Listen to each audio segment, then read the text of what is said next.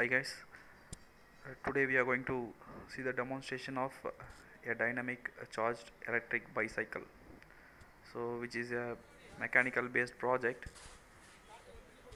So let us see what are all the components we are using in this project. Basically uh, to design this project we required a, a bicycle.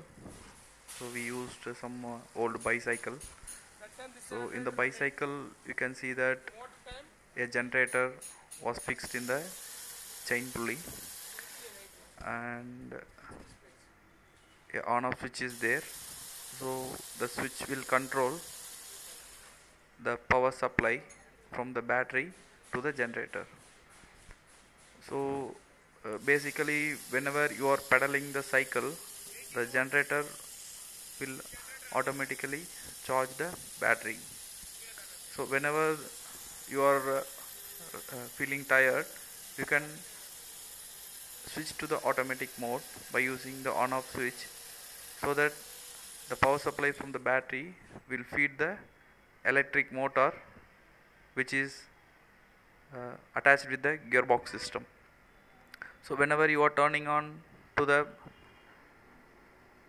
so turning on the switch it will automatically turn on the electric motor which is connected in the gearbox system. So now you can see uh, you can see the live demonstration how it works.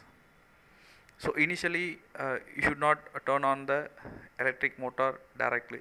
Why? Because the capacity of this motor is uh, somewhat around uh, much of load is not capable of uh, pulling by this motor in initial stage. So from for startup we need to make some pedaling. So after pedaling while in the mo movement condition we need to turn on the switch so that the speed will be maintained. The ba the uh, ba battery will feed the motor. The motor using gearbox system will pedal the cycle automatically. So whenever the charge get drained so we need we need to pedal it manually so whenever we are uh, manually pedaling the uh, uh, generator will produce charge and it will charge the battery. So this is how this project has been made.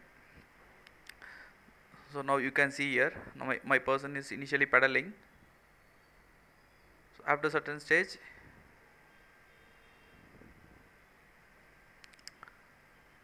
stop pedaling. So the vehicle will automatically move